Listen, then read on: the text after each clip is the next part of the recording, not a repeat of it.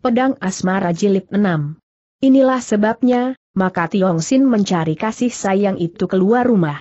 Di antara teman-temannya, di antara orang-orang yang bersikap baik padanya. Dia masih terlalu muda untuk melihat apa yang tersembunyi di balik kebaikan teman-teman itu.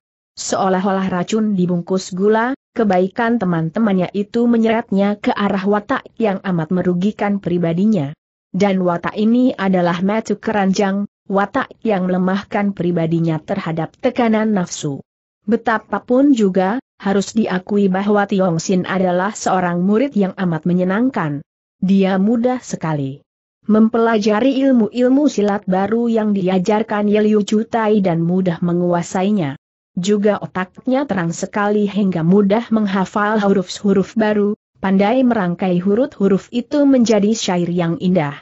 Juga dia pandai bersikap hormat dan manis terhadap siapa saja, terutama terhadap Yeliu Cutai yang sama sekali tidak pernah menduga bahwa di balik wajah yang cerah dan senyum yang ramah penuh hormat itu tersembunyi watak yang tidak baik.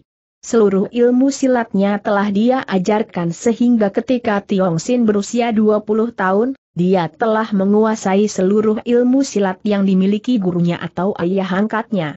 Dia menyebut tayah kepada Yeliu Cutai, akan tetapi, dia tahu bahwa dia bukanlah putra kandung gurunya itu. Hal ini diketahuinya dari hasil pergaulan yang keluar. Di antara para pelayan tentu saja ada yang tahu bahwa ketika Yelyu Cutai pulang dua tahun yang lalu, pemuda itu membawa seorang bayi. Karena Yelyu Cutai belum menikah, tentu saja keadaan bayi itu menimbulkan pertanyaan dan untuk melenyapkan dugaan yang bukan-bukan, Orang tua Yelyu Cutai memberitahu kepada para pelayan itu bahwa anak yang dibawa oleh Yelyu Cutai adalah anak yatim piatu dan yang menjadi anak angkat Yelyu Cutai. Demikianlah, mendengar berita bahwa dia bukan anak kandung Yelyu Cutai, Tiong Sin menghadap ayahnya dan menanyakan hal ini. Dahulu, sebelum dia mendengar akan hal itu, sudah berulang kali dia bertanya kepada ayahnya tentang ibunya, dan selalu ayahnya itu menjawab sambil lalu dan menyimpan. Ibumu sudah meninggal dunia, hanya itulah jawabannya. Ketika Tiong Sin menghadap Yeliu Cutai dan menceritakan tentang apa yang didengarnya, bahwa dia bukan anak kandung orang yang selama ini dianggap ayahnya sendiri, Yeliu Cutai menarik napas panjang. Aku tahu bahwa hal ini takkan dapat ditutup-tutupi, Tiong Sin. Dan memang bukan maksudku untuk merahasiakannya darimu untuk selamanya. Hanya aku menanti sampai engkau benar dewasa, baru akan ku ceritakan. Sekarang, setelah engkau mendengar berita itu, baiklah, kau dengarkan ceritaku. Yeliu Cutai lalu menceritakan tentang Bu Xiang dan Tang Xiok Hwa betapa kedua orang tua anak itu tidak dapat menjadi suami istri yang sah karena ditentang oleh orang tua Tang Xiok Hwa, yaitu Tang Pang Chu ketua Hek Eng Pang. Dan betapa ibu kandungnya itu meninggal ketika melahirkannya karena kehabisan darah dan tidak ada ahli yang membantunya melahirkan. Kemudian betapa ayah kandungnya juga tewas, mungkin tewas dikeroyok orang Hek Eng Pang. Nah demikianlah riwayatmu, Tiong Sin. Akan tetapi, sejak engkau terlahir, engkau sudah kubawa. Aku yang merawat dan mendidikmu, dan aku mengangkatmu sebagai anakku, biarpun engkau sama sekali bukan darah dagingku. Dan meskipun ku beri nama keturunan keluarga kami. Sekarang, terserah kepadamu apakah engkau akan tetap mempergunakan nama keturunan Yeliu ataukah akan menggunakan nama keturunan ayah kandungmu, yaitu Bu. Tiong Sin menghapus air matanya yang bercucuran ketika mendengar cerita ayah angkat atau gurunya, lalu dia memberi hormat dengan menyembah sampai dahinya membentur lantai. Sungguh besar budi yang ayah limpahkan kepadaku. Karena ayah ternyata bukan ayah kandungku, maka budi itu terasa semakin besar dan berat lagi. Karena itu, biar saya akan terus memakai nama keturunan Yeliu untuk membalas budi ayah.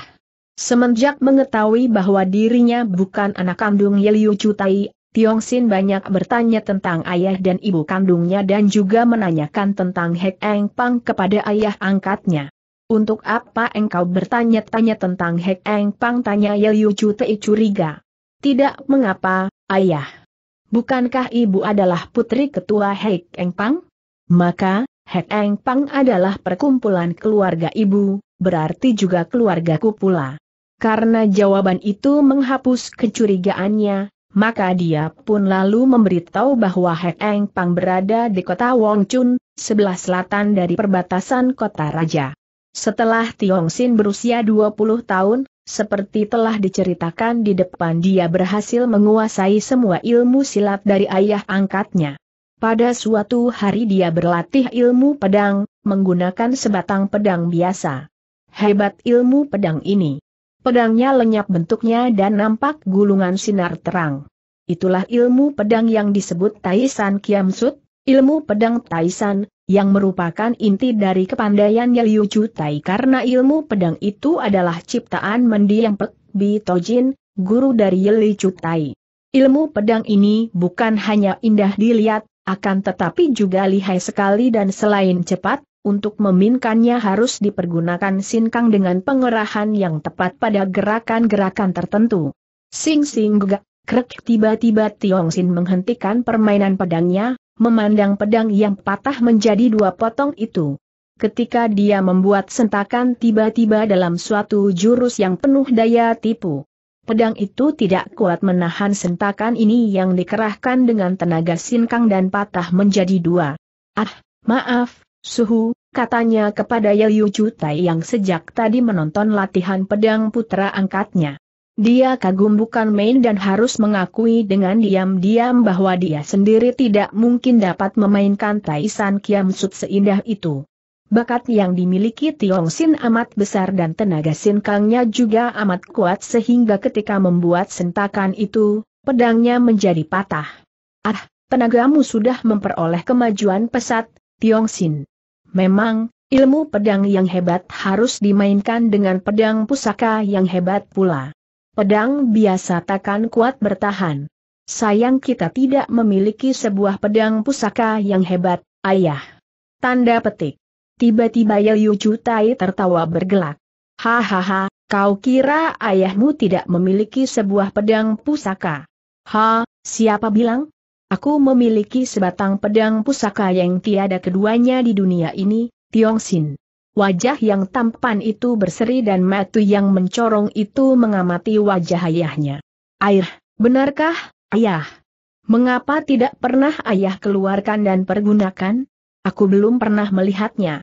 Pedang pusaka itu amat hebat dan ampuh, anakku, demikian ampuh dan dahsyatnya sehingga amat berbahaya. Ayah, bolehkah aku melihatnya? Kau tunggu sebentar Yeliu Cutai titik meninggalkan pemuda itu, mengambil kunci dan membuka pintu gudangnya lalu mengeluarkan pedang asmara dalam sarungnya yang nampak berdebu karena sudah terlalu lama. Tidak pernah disentuh. Dia membersihkan sarung itu, juga gagang pedang dengan kain ketika membawanya ke depan putra angkatnya. Kelihatannya seperti pedang biasa saja, ayah, kata Tiong Sin memancing. Yaliu Cutai tersenyum. Setelah sarung pedang dan gagangnya bersih, dia berkata, pedang biasa? Bersiaplah engkau, anakku, dan lihat baik-baik. Singgah dia mencabut pedang itu dan nampaklah. Cahaya berkelebat menyilaukan mata ketika pedang asmara tercabut dari sarungnya, apalagi ketika Yelyu Cutai menggerakkan pedang memainkan beberapa jurus, nampak sinar berkeredepan dan angin berdesingan nyaring. Ah ah ah, bukan main. Pedang pusaka itu hebat. Sekali, ayah seru Tiong Sin, matanya terbelalak memancing penuh kagum. Yaliu Cutai menghentikan permainannya dan tertawa, mengelus pedang itu memang dahsyat sekali pedang ini, tidak boleh dibuat main-main dan berbanaya bekali. Akan tetapi Tiong Sing tidak melihat bahayanya pedang pusaka yang ampuh, kecuali berbahaya untuk lawan tentu saja dan Yeliu Tai juga tidak ingin membuka rahasia pedang pusaka itu, mengenai pengaruhnya terhadap pemegangnya yang selalu berdekatan dengan pedang yang dapat mempengaruhi batin orang yang membawanya. Ayah, bolehkah aku meminjamnya dan mencoba untuk berlatih Taisan Kiam Sut? Yeliu Tai mengungguk dan menyarankan pedang itu. Memang maksudnya mengambil pedang pusaka itu untuk diberikan kepada putra angkatnya agar dapat berlatih kiamsut itu dengan pedang asmara. Dengan girang Tiong Sin menerima pedang itu dan mulailah dia berlatih. Kini Liu Chutai berdiri bengong, kagum bukan main. Memang hebat sekali putra angkatnya, juga muridnya itu. Dan pedang pusaka itu ketika dimainkan dengan ilmu Taisan Kiamsut, nampak pas benar. Lenyaplah bentuk pedang dan lenyap pula tubuh putra angkatnya, terbungkus gulungan sinar pedang. Setelah selesai memainkan Taisan Kiamsut, Tiong Sin berhenti dan nampak napasnya agak terengah, mukanya penuh peluh. Melihat ini, Yeliu Cutai berkata, gerakanmu sudah bagus sekali, Tiong Sin. Namun agaknya masih ada ketidaktepatan dalam mengatur pernapasan sehingga engkau terengah dan juga berpeluh nampak kelelahan. Engkau perlu berlatih lebih banyak, terutama memperhatikan pernapasan dalam setiap gerakan. Pemuda itu mengangguk. Baiklah, ayah. Aku akan berlatih lebih giat dan tekun lagi. Memang Taisan Kiam Sut ini sukar sekali, akan tetapi kalau berlatihnya dengan pedang ini, terasa lebih ringan dan lebih mudah. Bolehkah aku meminjam pusaka ini untuk memperdalam ilmu pedangku, ayah? Akan kujaga pedang ini baik-baik. Tanda petik.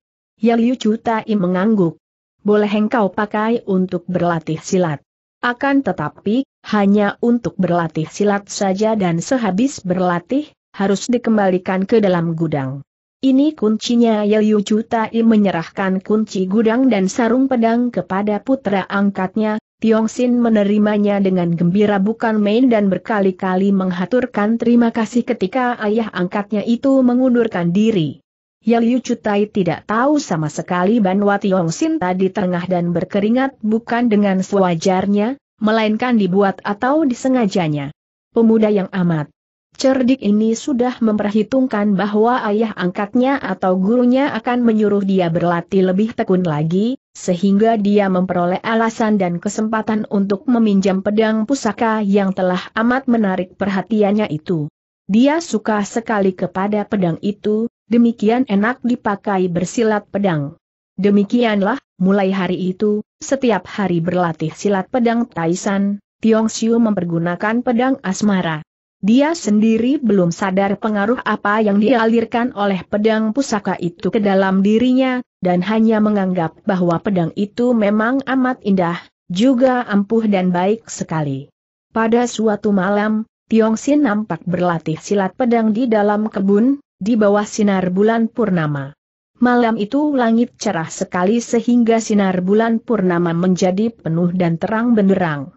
Karena hawa udara amat sejuk, Ketika menjenguk jendela kamarnya melihat betapa udara di luar amat jernih dan indah, Tiong Sin lalu meninggalkan kamarnya, mengambil pedang di gudang dan berlatih silat pedang di kebun, tidak di dalam lian butia, ruangan berlatih silat, seperti biasanya. Selagi dia berlatih pedang, telinganya yang terlatih matang itu mendengar ada gerakan di belakangnya. Tiong Sin mengira bahwa gurunya dan juga ayah angkatnya yang datang, akan tetapi ketika dia mengerling, dia melihat pakaian sutra berkembang merah muda. Seorang wanita. Dia menghentikan latihannya dan membalikan tubuh, dan terpesona. Tentu saja dia mengenal gadis yang berdiri di depannya itu.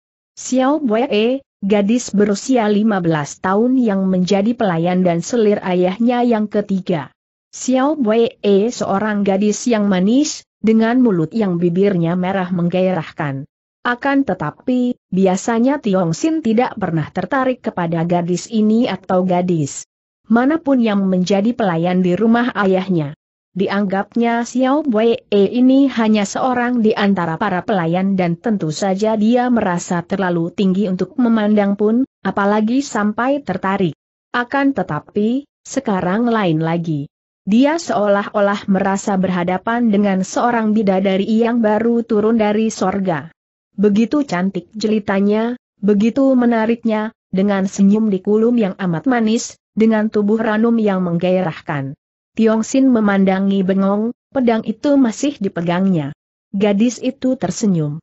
Nampak kilatan giginya sebentar ketika ia tersenyum-senyum yang geli karena tidak biasanya Seng Kong Chu, cuan muda, memandang kepadanya seperti itu.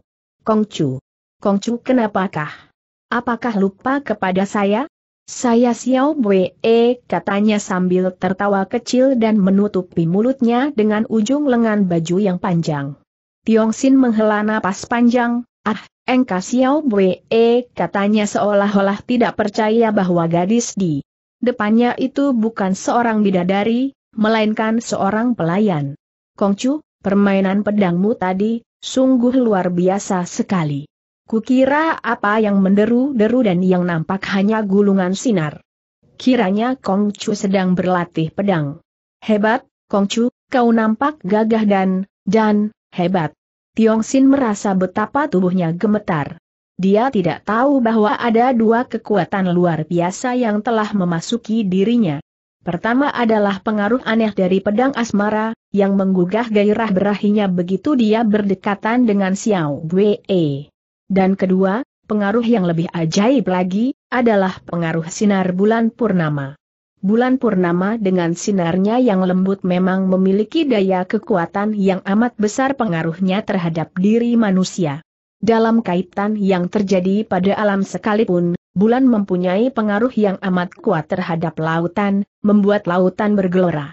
Apalagi terhadap manusia, kalau diingat bahwa manusia, badan ini, lebih dari tiga perempat bagian adalah air. Karena sadar akan pengaruh bulan pada manusia ini, maka para cerdik pandai di zaman dahulu sering kali memperdalam ilmunya di bawah sinar bulan purnama, akan tetapi juga mengingatkan kaum muda agar berhati-hati kalau sedang terang bulan, sinar bulan purnama itu dapat menggelorakan hati sanubari. Melihat Tiong Sin gemetar dan seperti menggigil, gadis itu merasa heran. Tidak biasanya tuan muda itu bersikap seperti itu. Ia pun melangkah menghampiri, mendekat. Engkau kenapakah? Kongcu tanyanya lirih. Dalam pendengaran Tiong Sin, pertanyaan lirih itu lebih merdu dan lebih sedap daripada nyanyian, bahkan seperti rayuan dan dia pun menggerakkan tangan kirinya dan di lain saat, pinggang gadis itu telah dirangkul lengan kirinya dan sekali tarik, tubuh gadis itu telah berada dalam dekapannya. Dan gadis pelayan itu pun seperti terkena pesona, tubuhnya seperti kemasukan aliran yang membuatnya menggigil, tubuhnya panas dingin dan lama sekali dia tidak menolak, bahkan membalas merangkulkan kedua lengannya di leher Tiong Sin. Kalau nafsu sudah menguasai hati dan pikiran, maka mati seperti buta, telinga seperti tuli, dan tidak ada lain hal yang mempedulikan lagi kecuali menuruti dorongan nafsu yang bagaikan api yang membakar, makin dituruti makin bernyala. Kedua orang muda itu seperti sudah lupa akan kesadaran dan tahu-tahu hubungan itu pun terjadilah. Seperti dua ekor binatang saja yang tidak lagi mempedulikan susila atau tidak lagi mengenal susila. Terjadi begitu saja, di tempat itu juga, di atas rumput di mana tadi Tiong Sin berlatih silat pedang. Dan keduanya melakukannya dengan penuh kepasrahan, pasrah kepada nafsu, tanpa paksaan, bahkan dengan penuh semangat dan gairah. Setelah lewat tengah malam, setelah mereka menuruti dorongan nafsu seolah-olah iblis sendiri yang memasuki tubuh mereka, setelah memuaskan gairah berahi berulang kali, Akhirnya mereka khawatir kalau sampai ketahuan dan mereka pun kembali ke dalam kamar masing-masing. Tidak banyak kata terucapkan di waktu mereka berdua tenggelam dalam laut nafsu itu dan bulan purnama seperti tersenyum. Pedang asmara yang masih telanjang dan menggeletak di atas rumput itu nampak semakin terang kilauannya. Nafsu kesenangan apa pun juga selalu mengandung racun yang memabukkan membuat orang mencandu. Demikian pula dengan Tiong Sin dan Xiao Bue. Begitu mereka minum anggur nafsu berahi di malam bulan purnama itu, mereka menjadi mabuk dan mereka mencandu. Pertemuan demi pertemuan mereka lakukan di malam hari, di mana saja ada kesempatan, dan mereka pun menenggelamkan diri di dalam lautan nafsu berahi.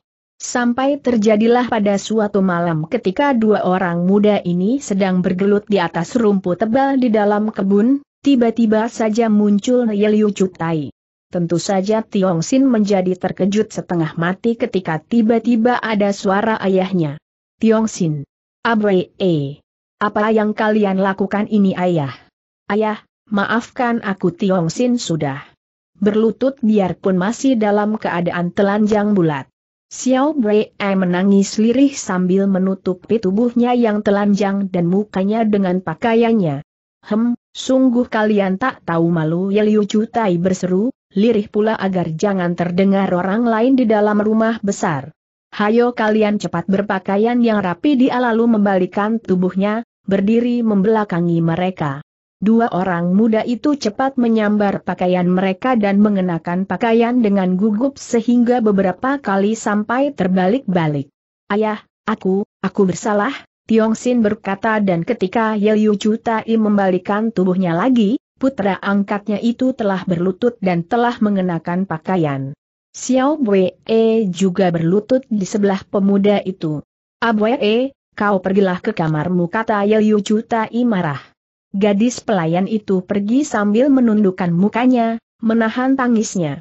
Ia takut sekali, membayangkan bahwa ia tentu akan mendapat hukuman dan bahkan mungkin akan diusir pergi dari tempat itu. Setelah gadis itu pergi menyelinap ke dalam rumah melalui pintu belakang, Yelyu Cutai berkata kepada muridnya atau putra angkatnya yang berlutut. Tiong Sin, hayo jawab terus terang. Sudah berapa kali engkau melakukan ini dengan Abu E? Sudah kurang lebih satu bulan, ayah, hem, dan dengan wanita lain. Sungguh mati, belum pernah ayah. Hanya dengan Xiao Bue E ini. Tanda petik. Ceritakan bagaimana sampai dapat terjadi hal memalukan ini. Apakah engkau jatuh cinta kepada gadis pelayan itu? Tidak, ayah. Liu Cutai mengerutkan alisnya. Engkau tidak mencinta akan tetapi melakukan perjinaan dengannya, dia menarik napas panjang. Coba ceritakan bagaimana bisa terjadi hal ini. Maaf, ayah. Mula-mula ketika aku berlatih silat pedang di malam terang bulan, di kebun ini, tiba-tiba Xiao Brei muncul dan, dan agaknya iblis menguasai batin kami. Berdua dan, Hal itu terjadi begitu saja tanpa aku dapat mencegahnya seolah-olah seluruh kesadaranku telah lenyap. Setelah itu, kami, hampir setiap malam melakukannya di sini, Tiongsin menundukkan mukanya. Tentu saja Yelyu Cuta maklum apa yang terjadi dan dia menarik napas panjang. Engkau selalu membawa pedang pusaka itu ke sini? Benar, ayah. Memang aku selalu berlatih pedang di sini, dan, Xiao Brei datang menonton. Liu Chutai merasa amat menyesal, juga marah. Tiong Sin, sungguh tak kusangka engkau akan melakukan hal yang amat memalukan dan rendah ini. Engkau telah menghancurkan rasa bangga dalam hatiku terhadap dirimu hanya dengan sekali perbuatan saja. Bukankah sudah sering kali aku menanamkan dalam batinmu bahwa kita harus selalu waspada terhadap tindakan diri sendiri? Bukankah engkau sudah tahu bahwa mengumbar nafsu berahi akan melemahkan diri dan dapat menyeretmu ke dalam tindakan yang menyeleweng? Lihat apa yang telah kau lakukan. Engkau berzina dengan seorang pelayan kita sendiri. Akan rusak nama keluarga kita kalau orang-orang mendengarnya. Tahukah engkau? Dengan kepala menunduk Hang Sin mengangguk. Aku mengerti, ayah dan mohon maaf. Tanda petik. Enak saja minta maaf kalau pelanggaran itu telah kau lakukan. Berikan pedang itu. Mulai sekarang, engkau tidak boleh keluar dari dalam rumah dan kalau berlatih silat, di Lian Butian saja. Ingat, keluar dari rumah berarti engkau melanggar laranganku. Tiong Sin menyerahkan pedang asmara.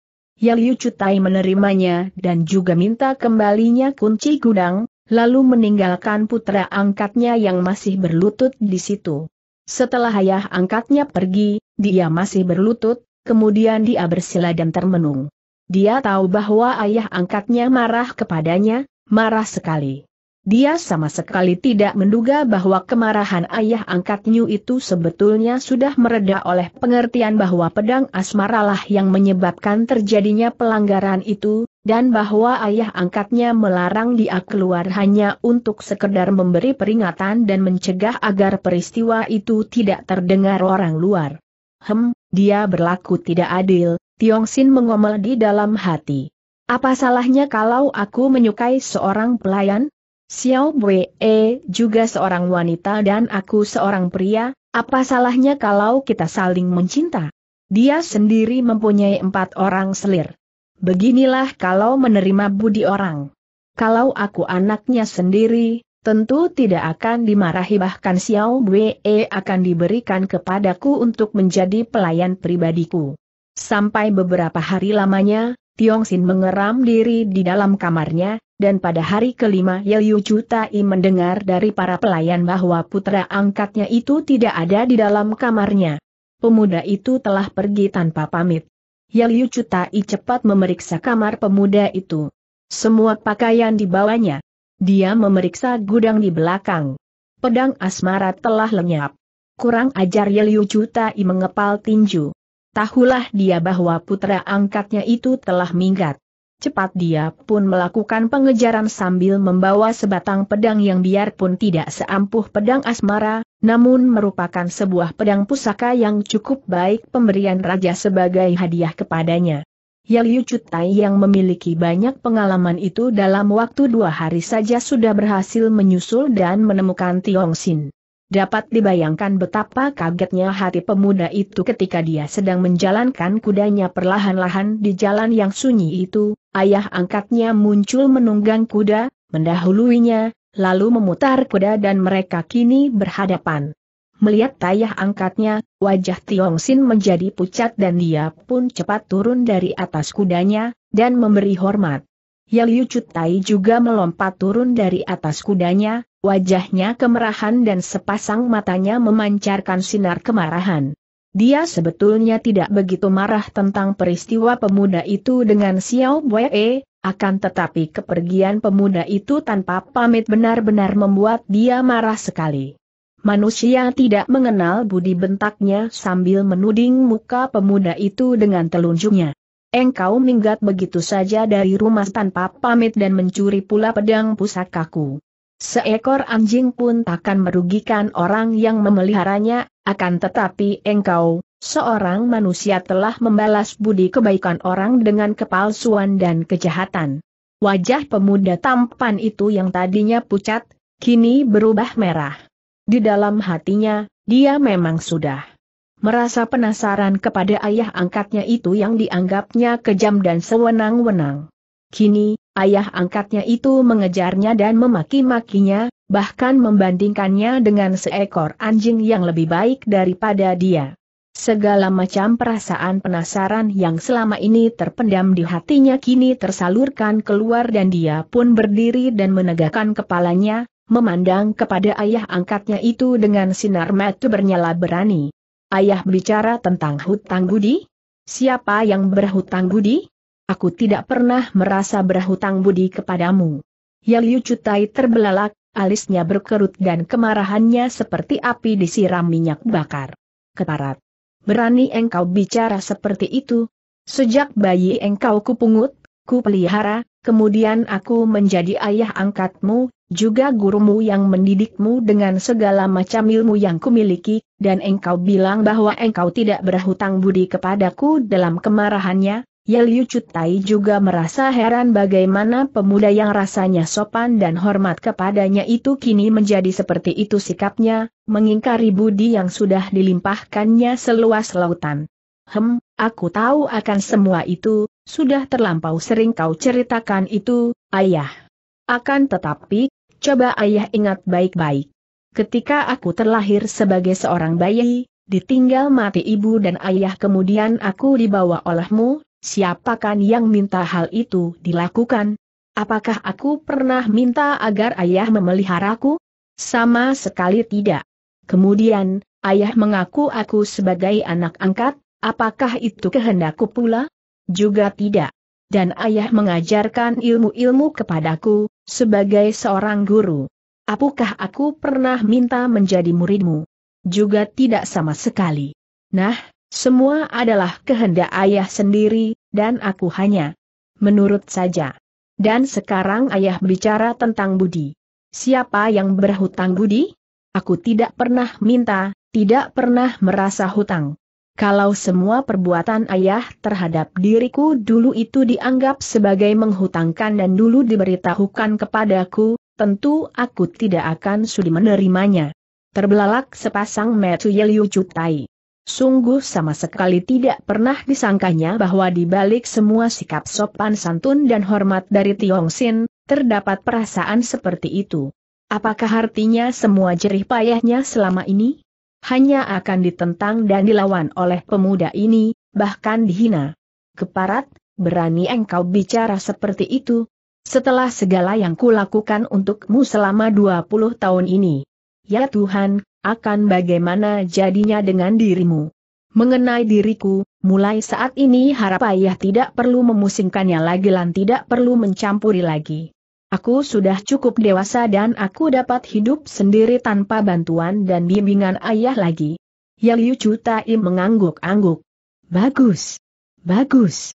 Kalau begitu, sekarang kembalikan pedang pusakaku. Pedang asmara itu adalah pedangku. Yang lain-lain boleh kau bawa, akan tetapi pedang itu harus kau kembalikan kepadaku. Tiong Sin tersenyum, bukan senyum ramah dan hormat, melainkan senyum sinis. Pedang asmara? Ah, namanya pedang asmara? Bagus sekali, memang cocok untukku. Ayah, pedang ini cocok untukku, maka akan kubawa pergi, aku membutuhkannya untuk membela diri. Tidak. Itu adalah pedang pusakaku, kembalikan menyesal sekali takkan ku kembalikan. Apakah kau ingin aku menggunakan kekerasan dan merampasnya dari tanganmu? Hem, boleh ayah coba kalau bisa. Kembali Matu Yeliu Cutai terbelalak. Betapa beraninya anak ini. Kemarahannya sampai lenyap saking herannya dan sejenak dia hanya memandang dengan mata terbelalak. Kiranya, domba yang selama puluhan tahun ini dia belai, dia sayangi dia pelihara, sesungguhnya adalah sekolah harimau yang mengenakan bulu domba dan baru sekarang menanggalkan bulu domba itu, memperlihatkan watak dan sifat aslinya. Sudahlah, ayah. Relakan aku pergi membawa pedang asmara, jangan memaksaku harus melawanmu. Jahanam Yeliu Cutai sudah mencabut pedangnya dan menyerang. Namun, Tiong Sin yang sudah siap siaga itu pun mencabut pedang asmara dan mereka pun saling serang dengan dahsyatnya. Sudah biasa mereka saling serang seperti ini, akan tetapi itu hanya terjadi dalam latihan silat. Sekarang, mereka bukan berlatih, melainkan berkelahi dengan sungguh-sungguh, keduanya berpedang dan memainkan Taisan Kiamsut dengan dahsyatnya, berusaha merobohkan lawan. Tidak ada lagi hubungan antara ayah angkat dan anak, atau antara guru dan murid, mereka seperti dua orang lawan yang berusaha keras untuk saling membunuh dan saling serang dengan sungguh-sungguh. Bukan main serunya perkelahian antara kedua orang ini. Tentu saja kedua pihak sudah mengenal baik semua jurus yang mereka pergunakan untuk menyerang sehingga mampu membela diri dengan baik. Kalau kedua pihak sudah sama mahirnya, maka yang diadu hanyalah kematangan, keuletan, tenaga dan ketahanan, juga kekuatan napas. Dan dalam hal ini, mereka seimbang juga. Yeli Cutai menang pengalaman, lebih matang dan lebih hulet. Sebaliknya Tiong Sin menang tenaga, ketahanan dan lebih panjang napasnya. Yeli Cutai sudah mulai lelah dan lehernya mulai berkeringat ketika mereka sudah bertanding selama seratus jurus lebih. Tiba-tiba dia yang tahu bahwa kalau dilanjutkan, dia akan kehabisan tenaga dan mungkin akan roboh oleh putra angkatnya sendiri, menggunakan gerakan yang mengejutkan karena secara tiba-tiba dia mengubah serangan dan pedangnya menusuk dari bawah ke arah perut pemuda itu. Serangan ini dibarengi teriakan melengking yang mengejutkan hati Tiong Sin. Pemuda ini terkejut bukan main, cepat dia meloncat ke samping, namun pedang ayah angkatnya mengejar terus. Bret. Teranggok celana Tiong Sin robek tertusuk, dan sedikit kulit dan daging pahanya ikut robek. Darah mengucur, akan tetapi ketika dia menangkis dengan pengerahan tenaga, kedua pedang bertemu dan pedang di tangan Yeliu Cutai mengalami kerusakan, patah 2-3 cm di bagian ujungnya. Yeliu Cutai menarik pedangnya dan meloncat ke belakang. Kesempatan itu dipergunakan oleh Tiong Sin untuk meloncat ke atas punggung kudanya. Biarlah aku membiarkan engkau hidup untuk membayar semua kebaikan yang pernah kau lakukan untukku, kata pemuda itu dari atas punggung kudanya. Yaliu Cutai marah sekali, akan tetapi patahnya ujung pedang itu saja sudah membuktikan bahwa dia tidak akan menang melawan anak angkatnya itu karena pemuda itu memegang pedang asmara. Andai kata tidak demikian, andai kata dia yang memegang pedang asmara, dengan kematangan ilmunya, kiranya dia yang akan menang. Maka dia pun tidak ingin mengejar pemuda itu, melainkan berseru dengan suara yang penuh kemarahan dan kebencian. Jahanam busuk, mulai saat ini tiada lagi hubungan di antara kita. Engkau bukan muridku, bukan pula anak angkatku dan aku melarang engkau mempergunakan nama keturunan keluarga Yeliu. Wajah yang tampan itu tertawa mengejek. Hahaha, Yeliu Cutai mulai karang aku telah menjadi orang bebas dan tanpa kau larang sekalipun, aku juga tidak sudi memakai nama keturunan Yeliu. Ayahku Shibu, maka namaku sekarang Bu Tiong Sin, setelah berkata demikian, sambil tertawa Tiong Sin memutar kudanya dan membalapkan kuda itu meninggalkan orang yang selama ini dianggapnya sebagai orang tua dan juga gurunya.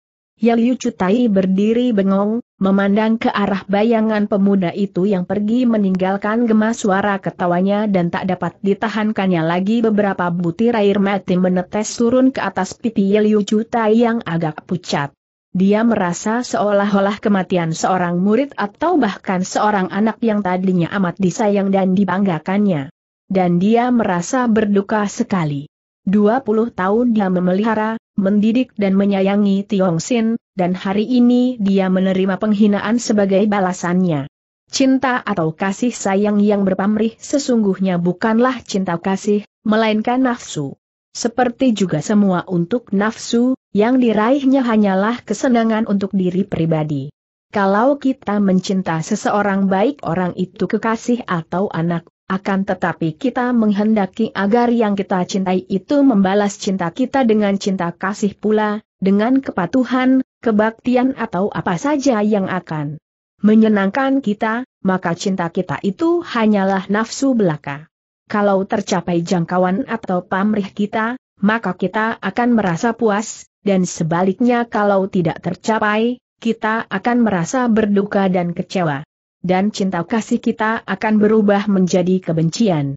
Nafsu hanya akan mendatangkan duka dan sengsara bagi batin kita sendiri. Kalau Yeliu Cutai kini mengalirkan air mata, bukan karena dia menyedihi Tiong Sin, melainkan menyedihi kepergiannya, menyedihi kehilangannya, dan yang ditangisinya itu bukanlah Tiong Sin melainkan dirinya sendiri yang merasa kehilangan, yang merasa dikecewakan. Kasih sayang kepada seseorang seperti itu, sesungguhnya bukanlah cinta kasih yang sejati, karena orang yang katanya dicinta itu hanyalah dijadikan alat dan sarana untuk mencapai kesenangan diri pribadi.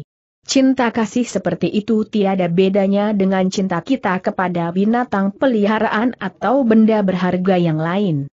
Bisa bosan, dan rasa cinta itu bisa sewaktu-waktu berubah benci kalau binatang peliharaan atau benda berharga itu tidak menyenangkan hatinya lagi. Cinta seperti itu melekat, mengikat dan hanya sengsara yang akan menjadi akibatnya. Selamanya dia atau apa saja masih mendatangkan kesenangan atau keuntungan pribadi lahir batin, maka kita mencintanya. Kalau tidak lagi menjadi sumber kesenangan dan keuntungan, maka cinta kita pun berakhir. Kenyataan ini dapat kita lihat dengan menjenguk keadaan batin kita sendiri dalam apa yang kita anggap cinta kasih kepada mereka yang kita cinta. Kita mencinta apa yang menyenangkan kita saja. Kita menolak, bahkan seringkal kita membenci apa yang tidak menyenangkan kita. Di dalam hati Yeliu Cutai kini timbul kebencian kepada pemuda yang pernah disayangnya itu. Keadaan seperti yang dialami Yeliu Cutai ini kiranya pernah atau akan dialami juga oleh kita. Keadaan batin yang berubah sepenuhnya. Dari rasa sayang menjadi rasa benci. Sebabnya perubahan ini jelas nampak. Karena orang yang disayangnya itu telah mengecewakan hatinya, telah mengubah kesenangan atau keuntungan batin yang ada menjadi kerugian dan kekecewaan. Jelaslah bahwa senang dan susah merupakan kakak beradik kembar yang tak terpisahkan. Di mana ada senang di situ ada susah. Seseorang yang sama, sebuah benda yang sama, bahkan suatu persoalan yang sama, bisa saja mendatangkan senang, bisa juga mendatangkan susah. Senang susah hanyalah permainan pikiran menurut pertimbangan si aku, kalau diuntungkan senang, kalau dirugikan susah. Bahkan turunnya air hujan pun bisa menjadi sebab senang atau susah, tergantung dari segi mana kita melihatnya. Kalau merasa diuntungkan oleh seng hujan maka senanglah hati dan hujan dipuji-puji. Kalau merasa dirugikan oleh seng hujan, maka susahlah hati dan hujan dimaki-maki. Yaliu Cutai dapat menduga bahwa pemuda itu kelak tentu akan celaka oleh ulahnya sendiri, akan tetapi dia tidak menyesal, bahkan diam-diam ada harapan seperti itu di dalam hatinya. Tentu saja hal ini timbul karena kemarahan, benci dan dendam. Odewik Zonolo Budi Eso. Kita tinggalkan dulu Yeliu Cutai yang berduka, dan tinggalkan pula Tiong Sin yang kini bagaikan seekor burung terbang bebas di udara, bukan burung merpati yang jinak dan lembut, melainkan seekor burung elang yang amat berbahaya karena selain memiliki ilmu silat yang tinggi, pemuda itu juga memiliki pedang asmara, dan berbahayanya, dia memiliki batin yang rapuh. Kita menjenguk kehidupan manusia lain yang hidup di sebuah dusun kecil di kaki pegunungan Tiansan dan kita mundur dulu kurang lebih lima tahun. Pemuda itu berusia kurang lebih lima belas tahun, akan tetapi kalau melihat tubuhnya dari belakang, orang akan mengira bahwa dia sudah dewasa. Tubuhnya tinggi besar dan kokoh kuat. Akan tetapi kalau melihat wajahnya, baru orang tahu bahwa dia masih remaja, bahkan wajah itu agak kekanak-kanakan, dengan mata yang lebar dan membayangkan kepolosan dan kejujuran yang mengarah kepada kebodohan. Mukanya tak dapat dibilang terlalu tampan, namun penuh kejantanan dan keterbukaan yang membuat orang merasa tertarik dan suka. Kaki tangannya berotot dan kokoh, juga tubuhnya yang besar itu penuh otot yang kuat, dengan dada yang bidang, pinggang ramping dan kalau berdiri seperti batu karang kokoh kuat, tegak lurus, kalau berjalan seperti seekor harimau. Kulitnya agak gelap, sebagai akibat jemuran matahari yang selalu menimpa dirinya karena dia setiap hari bekerja di tempat terbuka. Dia melangkah dengan tegap namun santai, memasuki hutan di lereng pegunungan Tiansan dan terdengar dia bersenandung dengan suaranya yang besar namun cukup merdu. Lagu rakyat yang sederhana. Di dalam suaranya terkandung kegembiraan, juga wajahnya berseri dan dia nampak berbahagia sekali. Memang dia seorang pemuda berbahagia walaupun pakaiannya sederhana, dari kain kasar dan tidak baru lagi. Pemuda remaja ini bernama Kwe E San Hang, berusia hampir 16 tahun.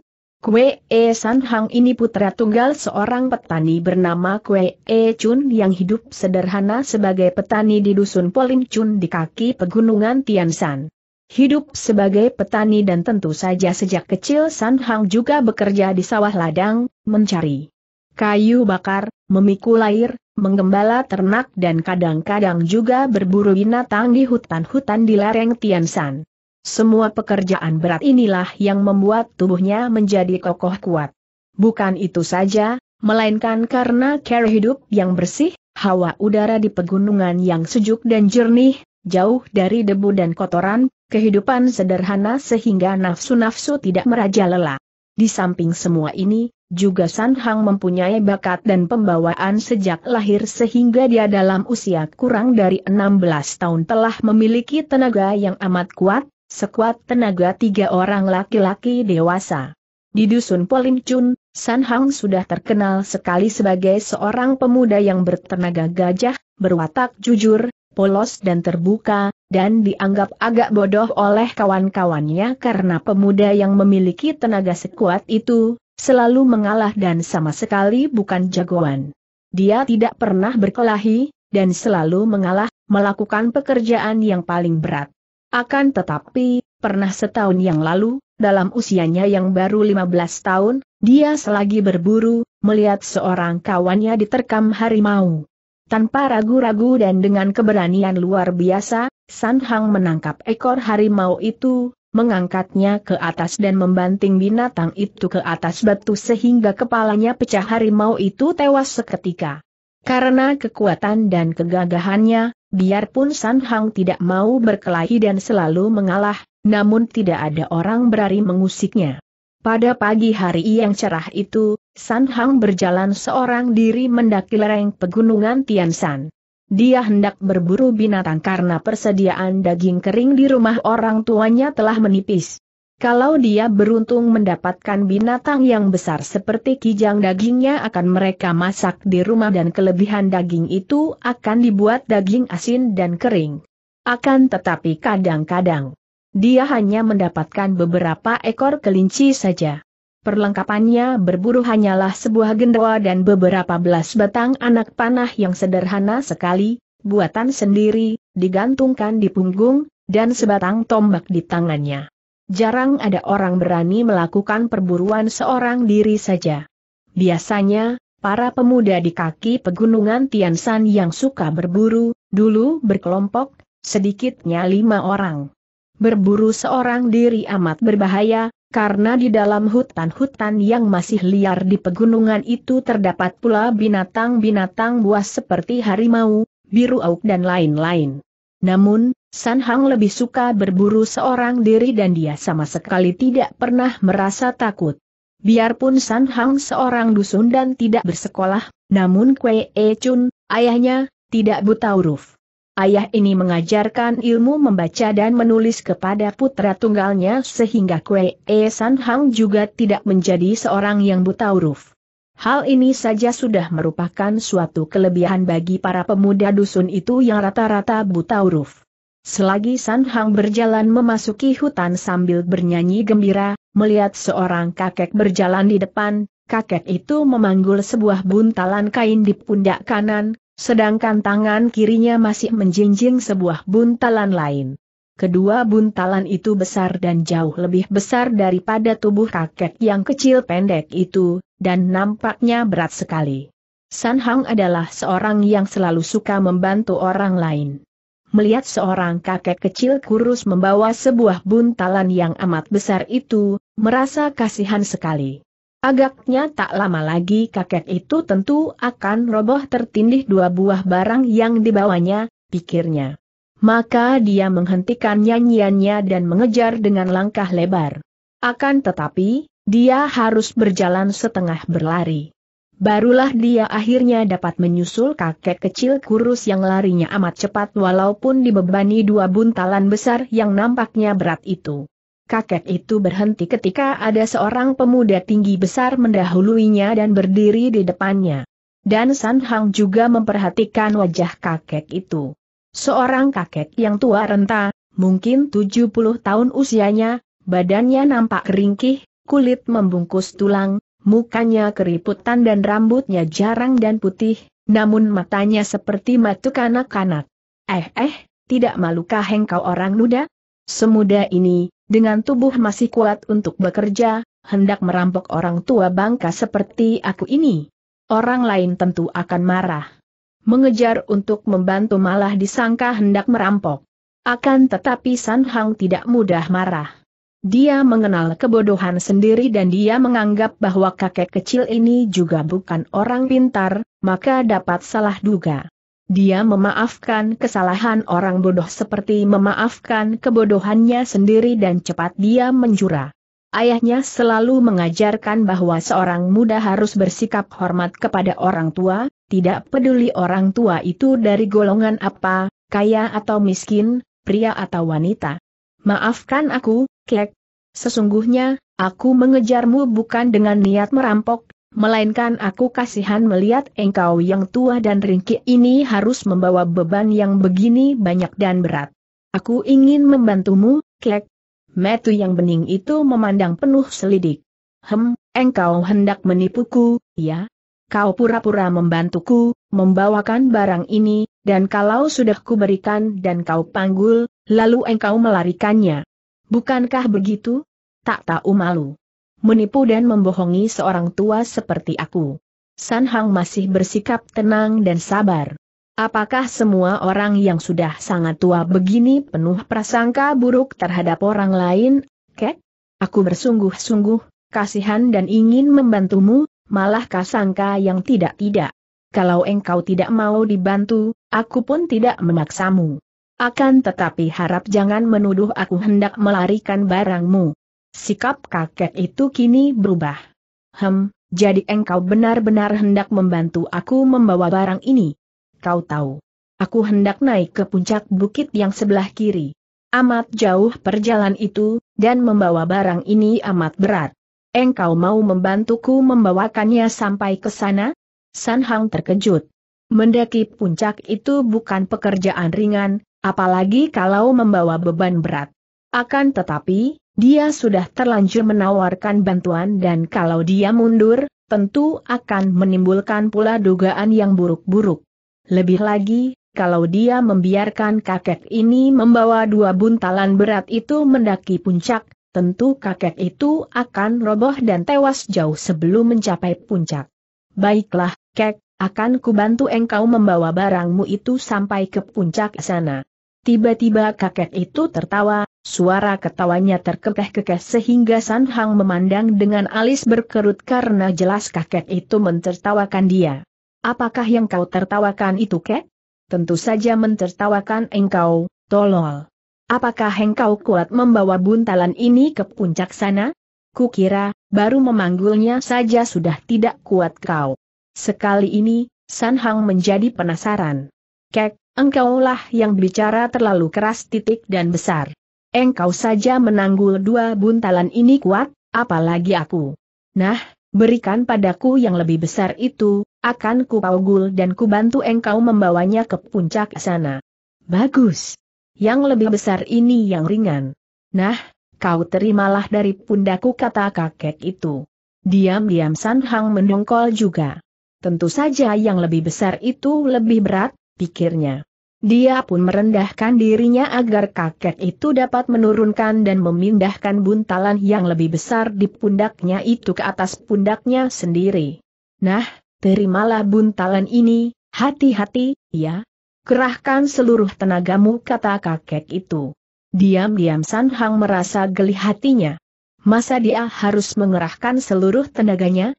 Biarpun buntalan itu kelihatan besar dan berat, namun kalau kakek itu mampu memanggulnya, tentu hanya ringan saja baginya, teramat ringan. Akan tetapi begitu buntalan itu menimpa pundaknya, semua perasaan geli tadi lenyap, matanya terbelalak, mukanya menjadi merah dan dia benar-benar harus mengerahkan seluruh tenaganya kalau tidak ingin roboh tergencet. Buntalan itu benar-benar amat berat. Orang biasa yang bertenaga besar pun belum tentu sanggup memanggulnya. Kedua kakinya sampai tergetar saking beratnya muatan itu. Dan kakek tadi mampu memanggulnya, bukan hanya mampu, bah tangan kirinya masih menjinjing sebuah buntalan lain dan dengan dua beban itu kakek ini malah tadi mampu berjalan amat cepatnya. Kakek kecil itu sendiri nampak terheran dan kagum melihat San Hang mampu memanggul buntalan itu dan Wajahnya berseri gembira. Wah, engkau ternyata memiliki tenaga yang kuat, orang muda. Jalanlah, kek, aku akan membantumu membawa buntalan ini sampai ke puncak, kata San Hang dan cepat dia berhenti bicara karena begitu bicara, tenaganya berkurang dan dia agak terengah. Kakek itu lalu mengangguk-angguk, berjalan mendaki gunung itu. San Hang terpaksa mengikutinya dan dia memang bertenaga gajah. Biarpun terasa berat, dia mampu berjalan dengan cukup cepat, dan daya tahannya juga kuat. Untuk menunjukkan kepada kakek TTU bahwa dia tidak berkeberatan membantunya, dia berkata sambil menahan napas. Biarlah yang sebuah itu pun kubawakan juga, kek. Kakek itu berhenti dan tertawa.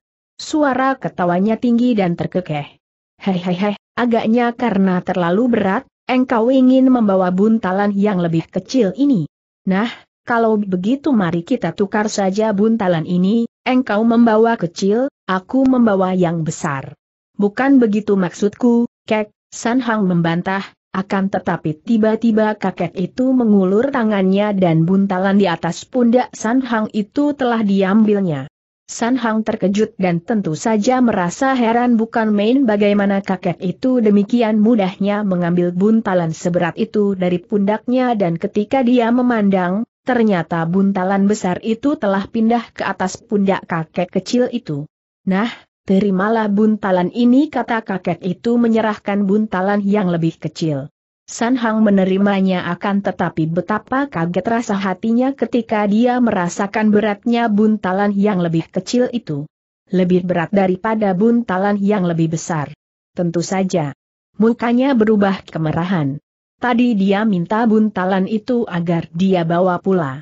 Padahal membawa buntalan kecil ini saja dia sudah setengah mati mempertahankan diri dan mengerahkan seluruh tenaga. Kalau membawa dua buntalan itu, jelas dia tidak kuat. Dan kakek itu mampu, membawa keduanya dan masih berjalan cepat pula. Manusia ataukah setankah kakek ini? Tubuhnya begitu kurus kecil usianya tua renta, akan tetapi bagaimana mungkin memiliki tenaga yang demikian kuatnya? Hehehe, engkau memang kuat, kata pula kakek itu. Apakah engkau masih nekat hendak membantuku membawa buntalan itu ke puncak? San Hang mengangguk dan melangkah maju, biarpun tertatih-tatih. Tentu saja, kek katanya. Kakek itu kini memandang kagum dan wajahnya berseri. Dia juga melangkah maju dan membiarkan pemuda tinggi besar itu kepayahan membawa barangnya sampai puluhan langkah. Kemudian, tiba-tiba dia mengulur tangan dan buntalan itu pun sudah diambilnya dari pundak San Hong. Tentu saja pemuda ini terkejut dan ketika dia membalik, kakek itu sudah tersenyum kepadanya, buntalan besar di atas pundak kanan dan buntalan yang lebih kecil di jinjing tangan kirinya seperti tadi. Betapa kuatnya. Dia pun tahu bahwa kakek ini mungkin seorang sakti seperti pernah diceritakan ayahnya tentang adanya orang-orang sakti berilmu tinggi di dunia ini. Maka dia pun lalu menjurat dan mengangkat kedua tangan ke dada memberi hormat. Kakek kecil itu terbelalak, dan memandang wajah yang jujur dan polos itu dengan penuh kagum. Dia bukanlah orang biasa, melainkan seorang di antara Tian San Gausian, lima dewa dari Gunung Tian San, yaitu lima orang tokoh besar di dunia persilatan. Sebagai seorang tokoh besar sudah banyak Tai Lek Si demikian julukan kakek. Kecil itu, menemui banyak macam orang, akan tetapi belum pernah dia menjumpai seorang pemuda dengan watak seperti pemuda tinggi besar itu. Dia merasa kagum sekali pemuda ini nampaknya belum dewasa benar, sudah memiliki tenaga yang demikian kuat, akan tetapi juga memiliki watak yang demikian polos dan jujur dan dari gerakannya, pemuda ini agaknya belum pernah mempelajari ilmu silat tenaganya besar, daya tahannya juga kuat, Semangatnya besar dan tahan uji di samping watak yang amat jujur walaupun agaknya kurang cerdik. Namamu Kwek Air San Hong? Eh, San Hong, berapakah usiamu sekarang? Hampir 16 tahun, Kek. 16 tahun. Masih kanak-kanak kata Tai Lek Su semakin kagum. San Hong, engkau telah memperlihatkan kemauan baik untuk membantu seorang tua seperti aku. Nah, sekarang aku pun ingin membalas kebaikan hatimu itu. Katakan, engkau menginginkan apa dariku? Kalau aku mampu, tentu permintaanmu itu akan kupenuhi, tentu saja kakek itu mengharapkan pemuda istimewa ini akan minta menjadi muridnya dan dia sudah siap untuk menerimanya. Tidak, kek, aku tidak membutuhkan apa-apa dan tidak minta apa-apa darimu. Terima kasih, kek, Aku hendak melanjutkan perjalananku berburu, hari sudah mulai siang, setelah berkata demikian, San Hang memberi hormat lagi lalu membalikan tubuhnya pergi meninggalkan kakek kecil itu yang berdiri bengong. Tai Lek Sian Su menggeleng-geleng kepalanya dengan penuh kagum dan heran. Sayang, sayang, sungguh anak yang baik sekali dia. San Hang sudah menyusup ke dalam hutan dan mulai mencari-cari binatang yang dapat dibunuhnya. Dia sudah melupakan lagi kakek kecil yang bertenaga besar tadi. Tiba-tiba dia terkejut, memutar tubuhnya dan cepat mengambil gendawa dan anak panah. Seekor kijang melompat dengan amat cepatnya sehingga dia tidak sempat lagi menggunakan anak panahnya. Dan di belakang kijang itu, dia melihat seorang kakek yang agaknya mengejar kijang itu dengan lari terpincang-pincang. Ketika melihat San Hang, kakek itu berhenti berlari dan mengomel. Kijang sialan, larinya begitu cepat San Hang melihat betapa kakek itu sudah tua, usianya tentu juga mendekati 70 tahun, sedikitnya 60.5 tahun. Tubuhnya sedang saja, wajahnya juga seperti wajah seorang kakek petani biasa, dan kaki kanannya pincang sehingga untuk membantu jalannya, kakek itu memegang sebatang tongkat butut hampir saja San Hang tertawa karena geli hatinya. Akan tetapi rasa kasihan menahan ketawanya dan dia memandang penuh perhatian lalu menarik napas panjang. Kakek yang baik, bagaimana mungkin engkau akan mampu menangkap kijang yang larinya amat cepat itu? Untuk apakah engkau mengejar-ngejar seekor kijang? Hem, kau tidak melihat tanduknya tadi?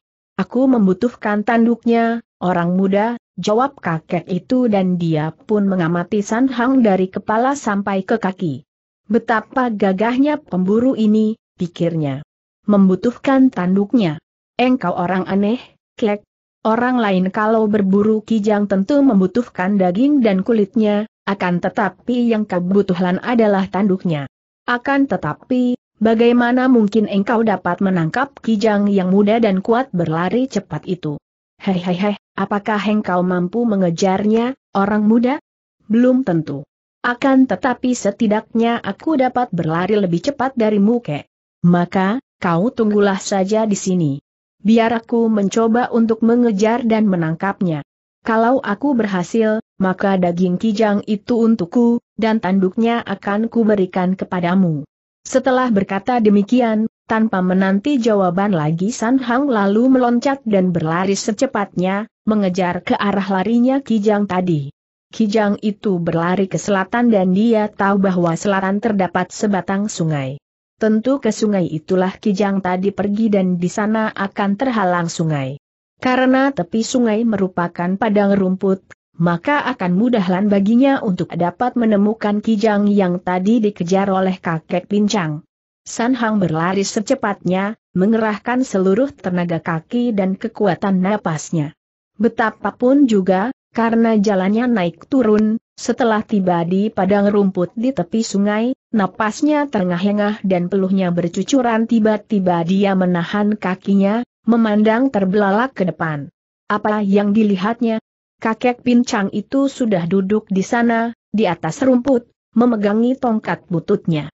Tentu saja dia menjadi heran bukan main.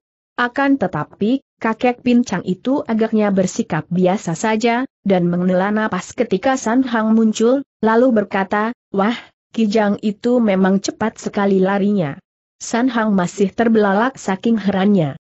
Kakek itu bukan saja telah lebih dulu tiba di situ, akan tetapi sedikit pun tidak berkeringat atau terengah-engah seperti dia, dan sama sekali tidak kelihatan lelah. Mungkin dia di sana kakek itu bangkit berdiri dan terpincang-pincang lari menuju ke kiri. San Hang yang merasa penasaran, kini cepat mengejar karena dia merasa penasaran dan selagi kakek itu masih nampak, dia mengejar dan ingin menyusul, seolah-olah hendak berlumba lari dengan kakek itu.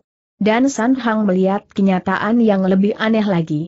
Biarpun dia melihat kakek itu lari terpincang-pincang dibantu tongkatnya di depannya, dan dia sendiri sudah mengerahkan seluruh tenaga dan berlari secepatnya, namun tetap saja dia tidak dapat menyusul, bahkan makin lama jarak antara mereka menjadi semakin jauh.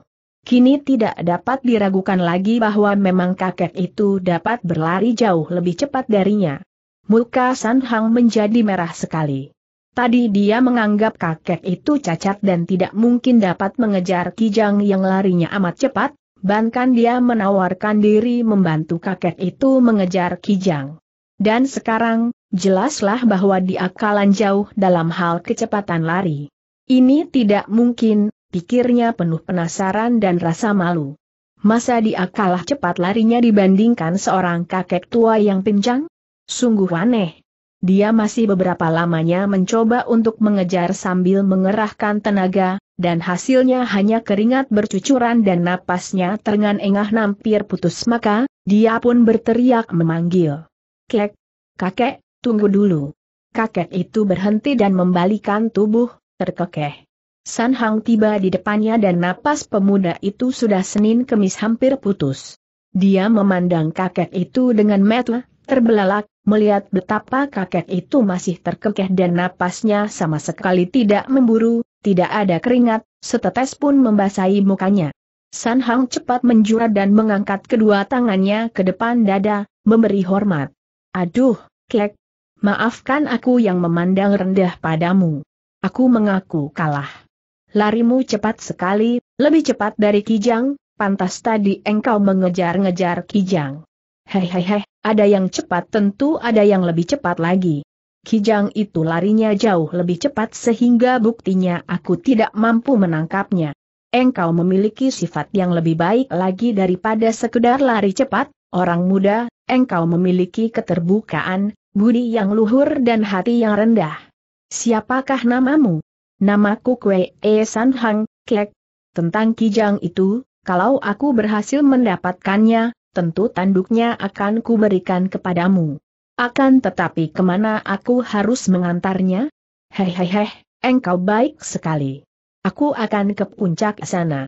Engkau tadi ingin membantuku menangkap Kijang, kini akan memberikan tanduk Kijang. Hem, kalau aku dapat memberikan sesuatu, tentu akan kuberikan. Akan tetapi, apakah yang kau harapkan dariku? Mintalah dan aku akan berikan kalau memang dapat, orang muda yang baik.